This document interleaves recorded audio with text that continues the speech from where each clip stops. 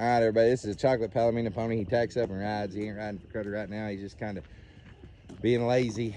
Um, but I, my son has actually rode this pony a few times and he does ride. Um, he ain't riding untacked, you know, with a bridle, saddle, and all that. He does do a little better. Price on this pony here is 600 bucks. He's a chocolate Palomino with a long, beautiful flax mane and tail tail drags the ground and that. Mane's got to be every bit of two foot long but man he's gentle he's easy to catch he's uh, everything a pony shouldn't be really but he's well he's acting like a pony now. Um, but a beautiful chocolate palomino pony when he sheds out this winter he'll have big old dapples all over and just pretty cool shetland type pony.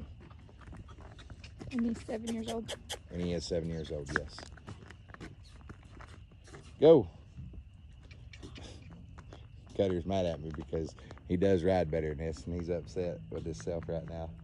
But it's starting to rain right here, everybody, so we're gonna have to go. That's why we're not tacking him up. But he's a good pony. 600 bucks.